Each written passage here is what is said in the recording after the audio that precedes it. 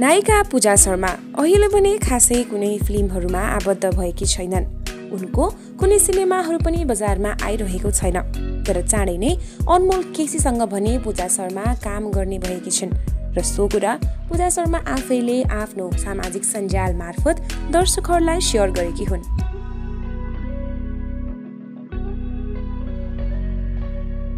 Cinema क्षेत्रमा अहिले पूजा शर्माले काम नगरे तापनि उनको भने बाहिर व्यवसाय भने चलिरहेको नै छ। चाँडै नै पूजा शर्माले आफ्नो प्रेमी युद्धबानियासँग मिलेर झम्सी खेलमा एउटा नयाँ रेस्टुरेन्ट खोल्दैछन् जुनको तयारी भने एकदमै जोडतोडले भइरहेको नै छ। चाँडै नै लगभग दुई तिन महिनामा भने पूजा शर्माले आफ्नो व्यवसाय सुरु गर्ने भएकी छिन्। केही समय भने पूजा शर्मा सामाजिक सञ्जालबाट पनि टाढा भएकी थिइन् तर अहिले भने उनी सामाजिक सञ्जालमा फेरि आइसकेकी छिन्।